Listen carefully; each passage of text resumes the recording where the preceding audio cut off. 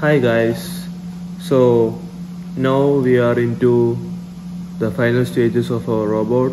So in this video, we are making our robot follow a straight line or turn a particular angle by making use of the encoders.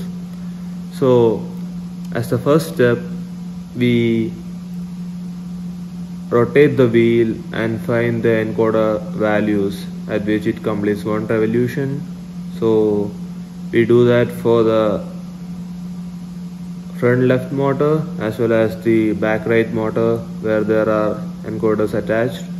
And we find the encoder values required to complete one complete revolution and then use these values to find the difference between the uh, left side wheels and right side wheels so that we can make sure that there is no difference between the encoder ticks of both the wheel sides so that it always travels in a straight line and eliminate small trajectories that happen due to wheel friction or some other factors.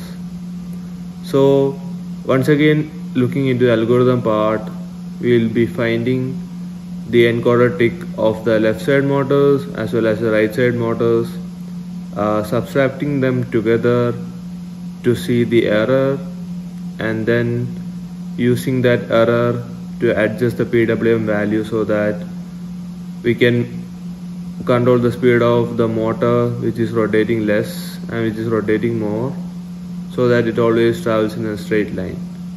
So in the next video we can see the robot moving in a straight line.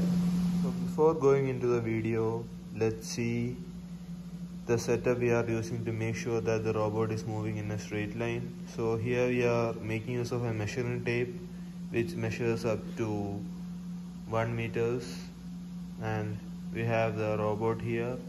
So we will be commanding the robot to move to a distance of 1 meter and we can see whether there is any deviation from the path using the tape. So let's see the demo in the next video.